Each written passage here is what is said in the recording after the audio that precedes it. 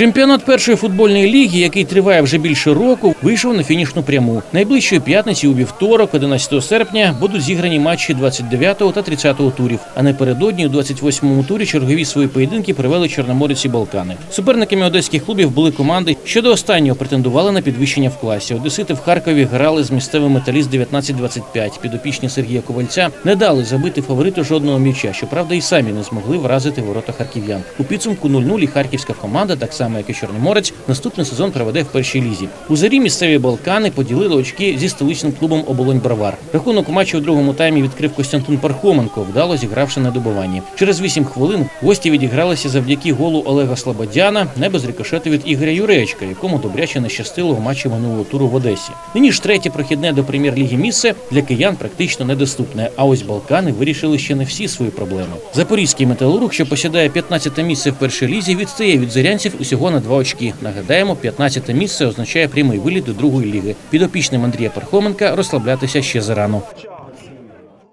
Говорили, что хорошие прострелы, хорошо вбегают, замыкают. И вроде справлялись, справлялись, справлялись. И вот один полуэпизод, и опять как бы автогол. Эти автоголы уже немножко утомили. Авангард 3-3, автогол 92 92 с Черноморцем автогол, и сейчас автогол. То есть три ничьи, это три победы. Однозначно э, тяжело даже психологически. Понятно, что хочется, чтобы это закончилось и готовиться нормально, подготовиться к чемпионату, но понятно, что мы не можем себя комфортно чувствовать, потому что мы хотели смотреть э, выше, но учитывая такие ничьи, которые мы все-таки упустили, мы смотрим, смотрим уже, чтобы нас э, не догнали.